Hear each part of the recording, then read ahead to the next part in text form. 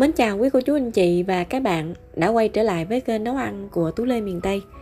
Hôm nay mình chia sẻ đến với các bạn một món bánh rất là đơn giản, dễ làm tại nhà và chỉ từ bột mì thôi. Bánh tai heo, cách làm này sẽ giúp cho bánh được giòn xốp mà không bị cứng, đặc biệt ăn rất là thơm. Đầu tiên mình sẽ có ở đây là 200g bột mì đa dụng. Tiếp đến mình có một cái trứng gà 40g đường 50ml sữa tươi không đường và 40g bơ một ống vani và một chút xíu muối để cho bánh mình được thơm và đậm đà hơn. Để tạo màu á, thì mình sử dụng là hương lá dứa 3K sẽ có mùi thơm của lá dứa và đặc biệt có màu xanh. Bây giờ mình sẽ đi nhồi bột nha các bạn. Mình cho hết bột mì muối đường và thêm ống vani vô. Ống vani này á, thì sẽ giúp cho món bánh được thơm ngon hơn. Mình sẽ cho sữa tươi không đường vô luôn nha. Tiếp đến là một cái trứng gà. Rồi mình sẽ cho bơ vô luôn. Bơ này mình sử dụng là bơ nhạt nha các bạn. Là bơ nó không có mặn á. Còn nếu mà mình sử dụng bơ bình thường ở nhà thì các bạn không nên bỏ muối tại vì trong bơ nó cũng đã có vị mặn rồi đó sau đó mình trộn đều lên để mà mình nhồi ha. Món bánh này á, thì thường à, tuổi thơ đó ai cũng sẽ biết. À, cách làm này sẽ giúp cho bánh được mềm ngon mà không bị cứng. Rồi bây giờ thì mình sẽ dùng cái tay để mình nhồi bột nha các bạn. Mới thì mình sẽ thấy nó hơi dính tay một chút xíu. Tuy nhiên thì ờ, mình nhồi một lúc phần bột nó sẽ nở ra và nó sẽ không có còn dính tay nữa cũng tùy theo là loại bột ở nhà mình sử dụng. À, nếu như mà nó có quá dính tay thì các bạn chỉ lấy tầm chừng một muỗng cà phê mình rưới lên thì phần bột nó sẽ khô liền tức khắc. Nhồi đến khi nào mà bột của mình nó dẻo mịn là được nha.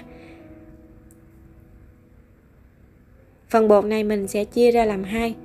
Một phần mình để nguyên và một phần mình sẽ cho thêm cái hương lá dứa để tạo màu xanh.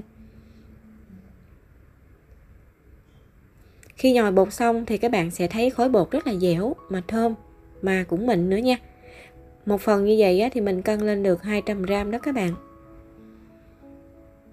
Rồi cái này thì mình sẽ cho cái hương lá dứa vô để tạo một cái màu xanh ha.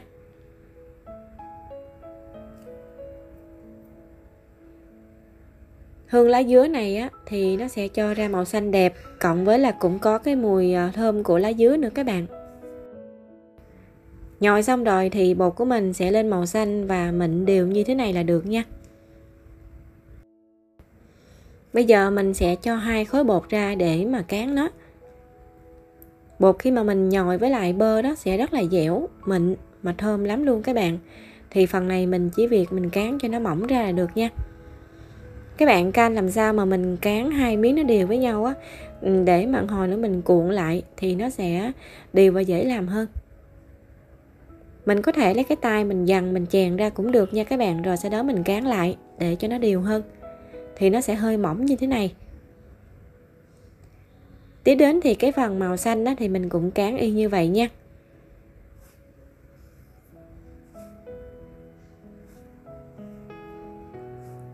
Cán làm sao mà mình can hai miếng nó đều với nhau là được à? Cán xong rồi thì mình sẽ cho cái phần màu xanh để lên trên cái phần của màu vàng nha các bạn.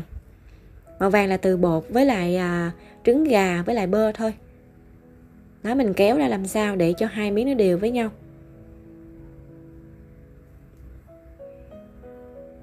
Xong rồi thì mình sẽ dùng một cái cán nè. Đó mình cán lên để cho bánh nó sẽ được kết dính vô nhau đó các bạn.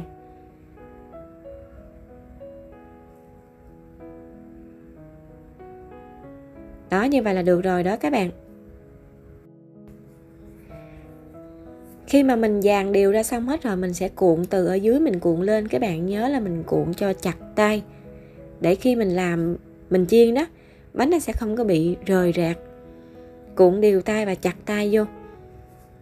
Đó, như vậy là xong khối bột này. Các bạn thấy không? Rất là ngon luôn mà nó dẻo, nó mịn lắm.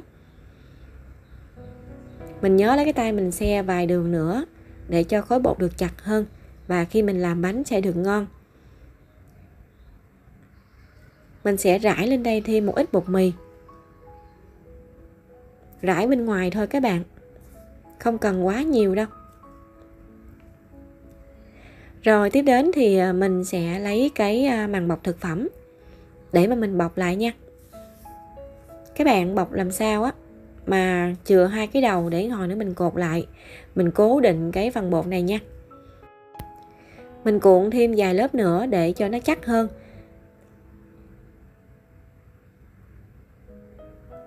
Xong rồi các bạn nhớ kéo hai cái đầu ra để chút nữa mình lấy cọng thun mình cột lại. Mình cột hai cái đầu lại như vậy á, thì à, mình giúp cố định cái phần bột, với lại là nó sẽ không có bị lòi ra ngoài đó. Với lại là nó chắc hơn, khi mình làm nó sẽ không có bị bung nha các bạn. Còn nếu mà không chắc là khi mình chiên nó sẽ bị bung ra hết trơn á xong rồi thì mình sẽ đem phần bột này mình để trong ngăn đá tủ lạnh tầm chừng 4 tiếng đồng hồ để cho nó cứng lại. Nó cứng thì mình mới đem đi chiên được nha còn bây giờ thì nó sẽ rất là mềm. Mình sẽ không có làm được. Đây là phần bột sau khi mà mình đã để trong ngăn đá tủ lạnh 4 tiếng đồng hồ. À, khi lấy ra thì nó sẽ còn rất là lạnh mà khối bột cũng cứng lại rồi. Mình sẽ tháo phần à, màng bọc thực phẩm này ra.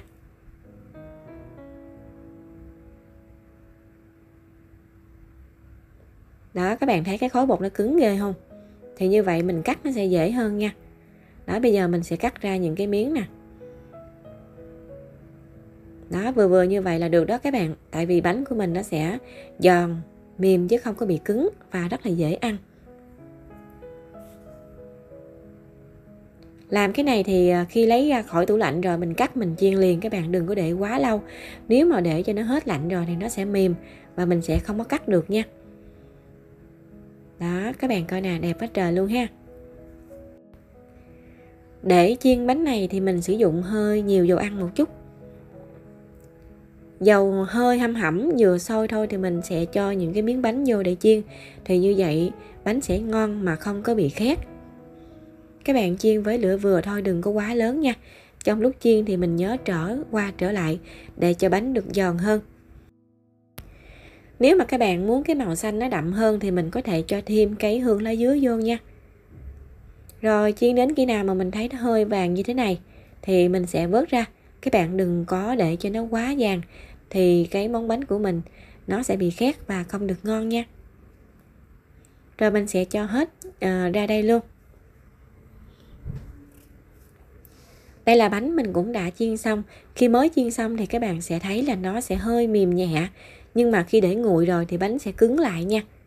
Cho nên là nếu mà các bạn chiên không nên chiên quá vàng thì bánh nó sẽ bị khét và không có được ngon ăn sẽ bị đắng. Như vậy là mình cũng đã chia sẻ xong món bánh tay heo vị của lá dứa rất là thơm. Bánh thì sẽ có độ giòn xốp mà không hề bị cứng. Thường thì nếu mà các bạn à, ngày xưa mà có ăn bánh này rồi á thì sẽ biết là bánh ngày xưa ăn rất là giòn mềm và thơm lắm thơm cái mùi hột gà đó nhưng mà bánh bây giờ bán thì đa số ăn nó có vị giòn thôi chứ nó sẽ không có cái mùi vị giống như xưa ha Ngày xưa thì những món bánh không có đa dạng giống như bây giờ. Tuy nhiên thì gợi nhớ tuổi thơ, món bánh này không thể nào thiếu.